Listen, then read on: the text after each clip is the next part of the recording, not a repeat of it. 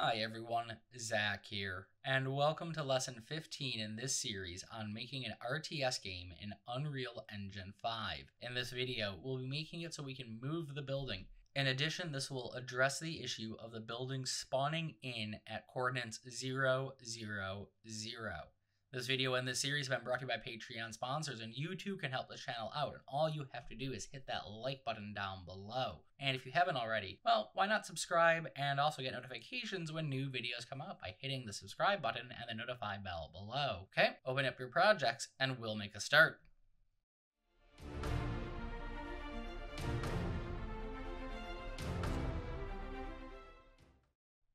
Alrighty, so here we are back in the editor. And as I said, we're going to make it so we can track the building with our mouse. So we're gonna go to core, player, and then we're gonna go to our camera pawn first. In our camera pawn, we need a new function to get the camera boom target arm length. So we're gonna create a new function called get current arm length. And the reason why we need the current arm length is we need to know how far away the mouse is from the ground. So we're gonna have it as a pure function. It will be part of our camera zoom and we'll have one return, which will be, and what we'll do is we'll move this to the side. We will find our camera boom.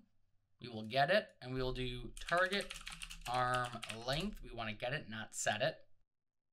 And we're just gonna plug that into the return node there. Okay, there we go. And now we're gonna go over to our player controller. That's our movement component. Okay, and then we're gonna go over to our player controller. And in our player controller, let's find our event tick and grab everything below it. And we're just gonna move this down slightly. Okay, let's grab our tick, move it down so we have a bit of room to play with. And here what we're going to do is we are going to get our camera pawn reference. So let's go to our references, get our camera pawn ref. From our camera pawn ref, we will get current arm length. And let me just zoom in. There we go. Okay, so from this, we will add in a float. And this is, if you have issues here, this is what you need to change. So this is how we're gonna say how far away from the camera is the mouse. And I'm going to pick a large value of say 2000 Unreal units. There we go. From there, we're going to set our mouse position. So what we'll first do is create a new function, and this function will be called set mouse position. It will have one input argument. It will be our trace distance. So how far from the mouse are we going? And this will be of type float. This will be a pure function, and it's going to have one return value. We'll take care of that in a minute. What we're going to do is we are going to right click and type in convert mouse location to world space. All right, let's leave that there for a second. And then we're gonna do from our execute pin here, a line trace by channel. All right, so our trace channel is landscape. We want to ignore self. We will not do any debugging for this one. So for our world location, we go from there into our start. There we go. And I'm just gonna line that up there and move them to the right just a bit. We'll add a reroute in, which I'll we'll line back up. From there, we'll do a float or a vector plus a vector. There we go. And let's just move that to the right a bit. That will go into our end. For our direction, what we're going to do is we're going to do a multiply, and that will go into that plus there. There we go. For the multiply, we're going to take the trace distance here and convert it over. There we go. It's converted for us. We don't have any of those weird nodes. We don't have to split anything. We're good. All right, next what we're going to do is we're going to have a branch here. And we're not going to use the hit out or return value here. Sorry, we are going to use the hit out and we're going to break it. Let's expand this out. And we want to know our hit actor. We want to make sure it is not null. So we're going to do not equal and we're going to leave that blank. If it's blank, then it's null and we haven't hit anything. Likewise, we could use this, but I tend to find the uh, hit actor works better for this one. Okay, with that done, we're going to do a return, and our return will be our location. We're to plug that into there. And this is our relative cursor location. So let's just rename this as relative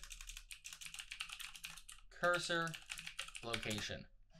Okay, let's go back to our event graph here and grab that function we just created, plug the trace distance into that plus float there. Okay, from this, then we are going to get our mouse position. We're gonna do this every tick because we need to know almost every tick where our mouse is. So mouse position. Mouse position will be, well, we'll just put this in do not edit. There we go. Because we never edit this, we never set it, it does it itself. And then we need to pass this to the building manager. So let's grab our building manager, pause there, and go over to our buildings folder and into our building manager. In our building manager, we're going to create a new function called set mouse position. So what we do here is we just do new function, and this will be set mouse position, and this will be well, let's move this to our preview category as well. And this will have one input argument of type uh, vector, which we'll name mouse position. So let's make that a vector. So right click this, promote to variable, and this will be called mouse position. And there we go. Add a return node in, and we'll put the mouse position variable also into our category of preview. Go back to the player controller. From our building manager, do set mouse position. Plug that into the set there, and then plug the mouse position, which I just saw the typo of my double E. Really do not know what's going on with my keyboard there. All right, so from there, what we're gonna do is we're gonna go back to our building manager and we're gonna create a new function called get grid snaps. So let's just add a new function in, get grid snaps, and this will be our values here will set how much our buildings move by, and I'll show you where to change the value if you want to make it a smaller snapping value or a larger snapping value. But for now, let's go into preview. This is a pure function. It has one return of type vector, which is going to be called grid snaps. All right, let's just unpin that for a moment. Let's get our mouse position. Let's get it here. We're going to break this, so let's split the structure, or you can pull out and do break. All right, so we're gonna do from here, from the X, is we're going to add, and we're gonna add 50. This is not our snap value, so just leave this as 50 for now. We're gonna get from here the floor, and then we are going to divide this by a value, and by that same value, Ironically, we will multiply that back in. Now, I have found that because we're using uh, integers at this point with this floor, that this that you do need to have both the divide and multiply for this to work. All right, so what we're going to plug in here is going to be a variable called snap values. This is the value you want to change if you want the movement of your buildings to be smaller or larger. All right, I'm just going to put another reroute in, plug that into there, put in yet another reroute in. All right, let's compile our snap value for now will be 100 Unreal units. All right, and then we're going to get our return here. We actually could have just left it plugged in, I guess. Drop it down there. We're going to do a make vector. All right, so for our make vector, this is our x, that goes into there. For our y, we will literally take all of this and duplicate it down here. Plug that into your y, and that goes into that y up there, okay? With that done, the Z value just goes straight in. And let's go over to our event graph. And in here, where we have our spawn preview building and our blink preview transform, well, this is where we're actually going to get our grid snaps to convert over. So get your get grid snaps, pin that into there. There's our lovely conversion node, which we haven't seen in some time. Good to see that node again. And well, let's test this, make sure this works. Hit play and hit B. There, it's spawned. We can see that it's in the ghost. Of course, now it's not deleting the other ones, but we'll worry about that later. All right, now we need to follow the mouse. So to do that, what we're gonna do is in our building manager, let's move this destroy down. Mostly the destroy does nothing because there's nothing there yet. That's why those buildings remained. We will do another custom event called track mouse. And now I could get a validated get. I'm not going to. I'm just going to get my references for my building, however. And I'm going to do is valid this way plug that into there. And then from this, actually I don't want it under there, I want to reroute. We are going to do something called move preview. We need to pause for a moment and go over to our building master. In our building master, we will create a new function called, well, move preview. So let's create a new function, move preview. All right, and this will go into the category, of course, of preview. Okay, so this one is a bit interesting. This relates to the issue I talked about in the last video with the functionality being slightly better in C++ than in Blueprint. So we'll talk about that in a moment. First, let's add in an input, and this will be new location, which will be of type vector. All right, so first let's deal with the part that is an issue in Blueprint. Grab your current building mesh, do set world location. All right, we're gonna do sweep and teleport. We're gonna plug the new location in there, There we go. Okay, now the weird part. Or this is the weird part. So we're only doing this in the BP version because the building only moves on the Z-axis in the BP version. This helps address that issue. I, again, can skip the step in C++. From there, the part that we do have in the C++ version, as well as here, is set actor location. So if you skip this step and you're doing it in Blueprint and go straight into the set actor location, in all my tests so far, the building doesn't move correctly. It just moves on the Z axis. Now the root, however, does follow the mouse, and this is going to be sweep and teleport as well. And then we're going to have another function here, which we'll take care of in a couple of videos called set material overlap. For now, we will not be touching that. That's actually going to be a very long video. All right, let's go back to the building manager. And in the building manager, we're going to grab off the building ref and do move preview. Okay, there we go. Plug that into there and put another reroute in, line those up, and then we will do our grid snaps for where we want to move to. Okay, let's test this out. Let's hit play. Okay, I'm in a map. I hit B. Uh-oh, it's not following the mouse okay, what's going on? Let's work out what's happening. So I'm just gonna exit out of the preview and then we'll work out what's going on. By the way, I already know what's going on. I pulled my usual classic of I forgot to actually implement something. So let's go back to our building manager. And in here, we've never called the track mouse up which is why we're having this issue. So what we need to do is go up to our set preview. And just after we do our set preview, we want to then do a set timer by event. And what we're going to do is we're going to have this loop every 0.01 and we're going to do a create event. And the event we're going to create is our track mouse. So now we're calling that up. And then we're going to want to save this timer so we can invalidate it later. So we're going to put it to a variable and this will be our preview timer handle. Okay, now preview timer handle will go into the category of preview, of course, but now everything should work. So we hit play and there we go. We see the building follows the mouse. Okay, cool. That is that done. Let's take care of our building rotation real quick. All right, so to rotate our building, we're gonna start in our building master. We're gonna create a new function called rotate preview. So new function, rotate preview. This will be in our category of preview. We will then pull off the execute and do set actor rotation. And we will plug that into there. And then we will do a return node. Okay, that's pretty simple. Let's then go to our building manager, however, and implement these events.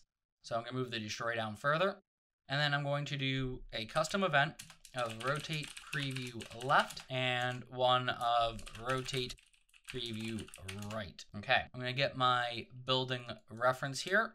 I'm going to duplicate it, and all I'm going to do is I'm going to check, is it valid? Again, I could do an invalidated get, but we've been doing that for so long that, hey, let's just do this node instead. From here, I'm going to have a reroute, and I'm going to have two other things coming off this reroute. I'm going to do rotate preview. There we go. On is valid. Let me just put another reroute there so it lines up a bit nicer. And then we're going to do the current rotation. So we're going to get from that reroute, get actor rotation. We are going to break this rotation. So we're going to split it or break it, up to you on how you want to do it. And we're going to do make rotator. We're going to plug the X and Y back in. We're going to rotate on our Z axis. So we're going to yaw our preview. Now, you can put whatever value you want in here. If you want it to show that they have to constantly do it, then use 1. But no matter what value you use besides 1, it should be a value that is that can equally go into 360. So I'm going to use the value of 15. So I'm going to rotate 15 degrees. So I'm going to do plus 15 here.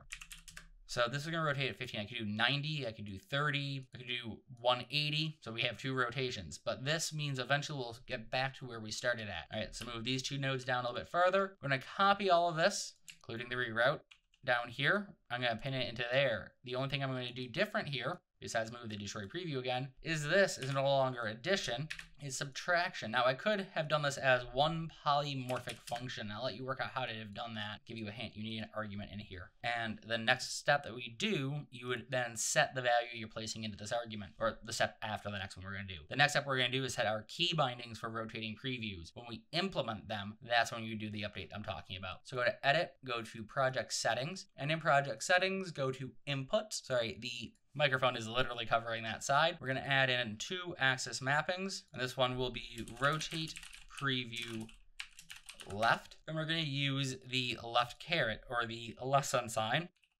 which is stored on our comma key on a US and UK keyboard. And then we'll do rotate preview right, which will be on the greater than caret or the closing caret or closing bracket, which is on the period or full stop key for UK and US keyboards. All right, go back to the player controller. And in here, we are going to, well, this is time related. So we're gonna go to the right here and we're going to do rotate preview left, grab our building manager there and do rotate preview left. Plug that into there. Then we'll do rotate rotate preview right, grab that, there we go, and pull out this building manager and do rotate preview right. All right, let's go ahead and test this out. Compile, go back to the map, hit play. Here we are, spawn a building in, it tracks our mouse, and then that's our left rotation, and then our right rotation. Let's go all the way around, and now we can move our building around. All right, in the next video, we'll take care of what happens when, well, we're somewhere like this, where we shouldn't be able to spawn or place a building. Or here, where our building, notice how the building follows a mouse? That's, yeah, that's nice, isn't it? Notice, however, it only gets a certain distance. That's too far away for it to properly see what's going on. But, hey, we should be able to spawn there and saying we can. It's blue. Well, we're going to have it turn red when it's in the wrong location, so we'll take care of that in the next video. For now, this takes care of what we need to do, so if you've enjoyed this video, make sure to hit that like button down below. It really, really does help this channel out. And so do comments, and so does subscribing to this channel. If you want to take your support a bit further, consider becoming a Patreon supporter. Patreon supporters at upper tiers get instant access to all ongoing and completed projects on YouTube, and at other tiers get access once projects are completed. But regardless, get access to videos early. All right, that said, I look forward to seeing you in the next video, and I hope that you have a wonderful day.